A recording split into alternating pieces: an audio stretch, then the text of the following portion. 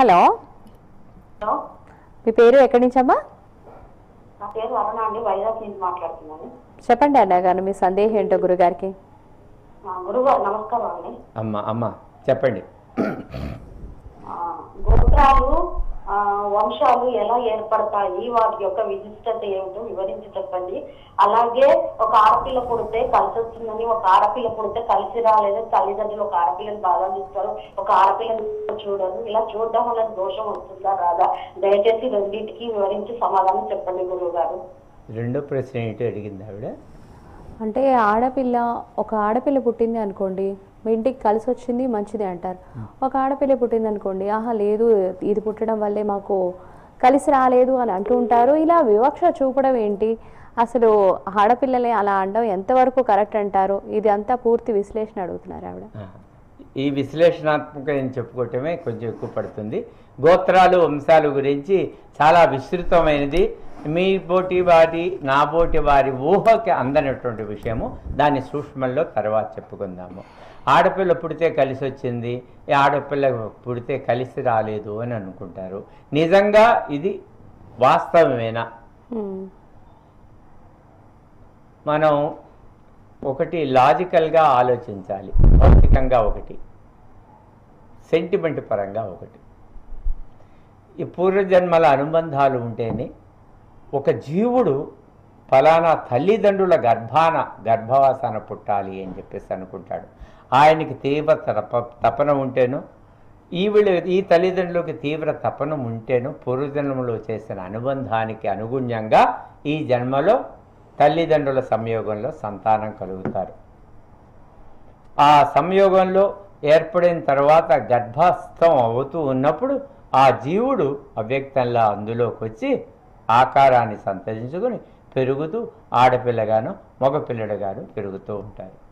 కనుక అవినాభావ సంబంధం లేకపోతే పూర్వజన్మల యొక్క వాసనలు సంబంధం లేకపోతే ఆ తల్లి కడుపున తండ్రి కడుపున తల్లిదండ్రుల కడుపున ఈ బిడ్డ పుట్టరు. మరి ఆయన చే ఏ కర్మలు చేసుకొచ్చాడో? ఏ సంకల్పాలు పెట్టుకొచ్చారో? ఆ జీవుడు వెళ్ళిపోయేటప్పుడు ఎలాంటి భావంతో వచ్చారో? అవన్నీ సంస్కారాలు ఉంటాయి కదా. అట్లాంటి సంస్కారవంతమైనటువంటి ఆ సంస్కారాలు మోసుకొచ్చినటువంటి ఆ వాసనలతో వచ్చినటువంటి బిడ్డ ఇంటికి వచ్చినప్పుడు దాని ప్రభావం ఉంటుంది. సహజంగా కొంత ఉంటుంది. అందుకని మా అమ్మాయి పుట్టిన దగ్గర నుంచి మాకు కలిసి వచ్చిందండి అంటారు. ఆ అమ్మాయి పుట్టకపోయినా కలిసి వచ్చే యోగం నీకుంది.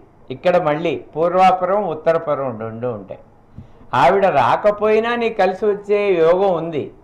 కానీ కార్యకారణ మీమాంస అని ఒకటి చెప్తారు ఆ ఆవిడ వచ్చిన తర్వాత కలిసి వచ్చింది అంటారు. ఇది కలిసి రావడం ఒకటి ఆవిడ వచ్చి ఉండటం ఒకటి. ఈ రెండు అవినాభావ సంబంధం ఉంటుంది.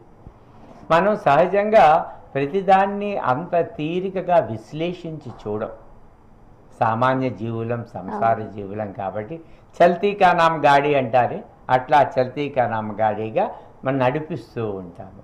అట్లా విశ్లేషించుకుని పూర్వజన్మలో ఇది ఎక్కడ పుట్టి ఉంటుంది? ఈ పూర్వజన్మలో మేమిద్దరం ఏమన్నా పొట్లాడుకుని ఉన్నామా? చడువు నీ చచ్చి నీ కడుపునే పుట్టి నిన్ను పీడిస్తా అనేమన్నా చెప్పించిందా? వాడు ఏమన్నా నన్ను నేను తిట్టిపోసాడా? నేను వాళ్ళని తిట్టిపోస్తే మళ్ళీ ఆ రో బాకీ తీర్చుకునేందుకు ఇట్లా వచ్చారా? దాని మూలాన కలిసి వస్తే రాకుండా ఉందా? లేకపోతే పూర్వం అంతా సేవ చేసా అమ్మ చచ్చి నీ కడుపున పెడతానే తల్లి నువ్వు నాకు కూతురుగా సేవ చేసావు తప్ప పని మనిషివి కాదే. మళ్ళీ అది కూతురుగా వచ్చిందా? ఇట్లా చాలా కంట్రిబ్యూటరీ ఫ్యాక్టర్స్ అంటారు. కర్ణుడి చావుకి పది కారణాలు అని మన తెలుగులో సామెత చెప్తారు కర్ణుడు ఆ చిట్టు చివరు మరణించేటప్పుడు ఆ ఒక్క బాణంతోనే పోలా. భూదేవి ఇచ్చిన శాపం ఉంది. అట్లా ఇంద్రుడు ఇచ్చినటువంటి శాపం ఉంది. ఇట్లా వరుస వరుసనే అనేక కారణాలు కలిసి ఆయన అంత శక్తివంతుడు అయినా కూడా యుద్ధ భూమిలో కూలిపోయాడు. అట్లాగే ఈ సంతానం వచ్చిన తర్వాత కలిసి వచ్చిందనో కలిసి రాలేదనో వీడు కాలు పెట్టిన తర్వాత అంతా బిడ్డొచ్చిన వేళ గొడ్డొచ్చిన వేళ అని మనకు తెలుగులో ఒక సామెత చెప్తారు బిడ్డ గొడ్డు అనేది ఏదో డకారంలో చక్కగా బాగానే ఉందిలే పదం అని. దానివల్ల వచ్చింది అని మనం చెప్పుకుంటూ ఉంటాం. హేతువాదంలో కొన్నిట్లో హేతువాదం నిలవదు. హేతు అంటే దేనికి ఇది కారణము అని. సెంటిమెంట్ ముందు అంటే మానసికమైనటువంటి భావన ముందు ఇవన్నీ నిలవు. కనుక ఇప్పుడు పిల్లలు వచ్చిన తర్వాత కలిసి వచ్చిందా నష్టం వచ్చిందా అనేది మీరు వచ్చిన వాళ్ళు విశ్లేషించుకుంటే దానివల్ల వివక్షత చూపించకుండా సరిపోతుంది. అలా కాకుండా ఇద్దరు పిల్లలు పుట్టారనుకో ఇదిగో ఆ చిన్నది పుట్టింది దరిద్రం అంతా పుట్టింది. ఆ పెద్దవాడు ఉన్నప్పుడు వాడంతా కలిసే వచ్చింది వ్యాపారంలో పాతి లక్షలు సంపాదించాం. వీడు పోయి ఈ కూతురు వచ్చిన తర్వాత చిన్నాడు పుట్టిన తర్వాత అంతా పోయింది. అని అనుకుంటూ వివక్షత చూపించేసరికి వాళ్ళ మనసు బాధపడుతుంది. కనుక వివక్షత చూపించవద్దు. జరగవలసిందంతా జరుగుతూనే ఉంటుంది. ఆ కాలం యొక్క అనుకూల్యత కూడా ఉంటుంది. అవ్యక్తంలో పరమాత్మ యొక్క అనుకూలత ఉంటుంది. కనుక ఆ కాలానికి తల వంచడం పరమాత్మని వేడుకోవడం చేయవలసిందే తప్ప వివక్షత చూపి బిడ్డల్ని దూరం చేసుకోవటం అనేది సరైన విషయం కాదు. అట్లాగే అత్తా కోడల మధ్య కూడా ఆ వచ్చిందమ్మా కొరివి కోడలు కాదమ్మా కొరివి కాలు పెట్టింది మహాతల్లి అయిపోయింది. అత్తగారు మొదలెడుతుంది ఈవిడ మహాతల్లి అంటే నువ్వు గయ్యాడి తల్లి ఉంటుంది అక్కడి నుంచి సాగిపోతూ ఉంటుంది. ఈ భౌతికంగా సంసారం శాంతియుతంగా ఉండదు. కాబట్టి కాస్త విచక్షణతో ఆలోచించుకునేటట్టయితే ఈ వివక్షత చూపుకునేందుకు అవకాశం ఉండదు. ఆ తర్వాత ఈ గోత్ర గోత్రాలు గోత్రాలు వంశాలు ఏర్పడ్డాయి ఎట్లా అని చెప్పారు. ఈ వంశము అంటే ఒక వంశంలో పెద్ద ఆయన ఉన్నారు పది తరాల క్రితం. ఒక జమీందారుగానో ఒక సంగీత విద్వాంసుడుగానో ఆయన అనేక కీర్తి ప- పొందాడు అనేక సన్మానాలు పొందాడు చక్కగా సంపదనిచ్చాడు. ఆయన పేరు చేస్తే పది మందికి తెలుసు. ఆ తర్వాత కొడుకు తర్వాత కొడుకు వచ్చారు. ఇంకొకళ్ళు వచ్చిన తర్వాత నాలుగో తరంలోనే ఎప్పుడో మళ్ళీ అట్లాంటి పేరు ప్రతిష్టలు ఉన్నటువంటి వాడు పుట్టాడు. ఆహా వీడు ఎంత ఘనంగా వచ్చాడు. మా వంశం పే ప్రతిష్ట నిలిపావయ్యా. మా వంశ గౌరవాన్ని నిలిపావయ్యా అంటాడు. ఈ వంశము అనేది ఒక మూల పురుషుడిని ఆధారం చేసుకుని వస్తుంది. ఇప్పుడు రఘు మహారాజు ఉన్నాడు. ఆ రఘు మహారాజు కొడుకు ఆ తర్వాత దిలీపుడని లేకపోతే నేను దశరథుడని దశరథుడు రాముడని లవకుశులని వచ్చారు. రఘువంశంగా నిలబడిపోయింది. రఘు మహారాజు మహాశక్తివంతుడు వీరుడు సూర్యుడు ధీరుడు. కనుక ఆ వంశస్థుల్లో భావన చేశారు. ఇవి వంశాలు. మూల పురుషుడు గొప్పవాడు. ఇంకా గోత్రాలు ఎలా ఏర్పడ్డాయి అనేది మన వాళ్ళు రకరకాలుగా చెప్పుకొస్తారు. గో అంటే గోవులని ఆ గోపాలన చేసినటువంటి వారు గోవులని ఆరాధన చేసినటువంటి వాడు ఆ గోవుల సంతతిని వృద్ధి చేసినటువంటి వాళ్ళు వాళ్ళ పేరు ద్వారా ఆ తరము అందులో పుట్టినటువంటి వాళ్ళు వచ్చింది గోత్రము అని చెప్తారు.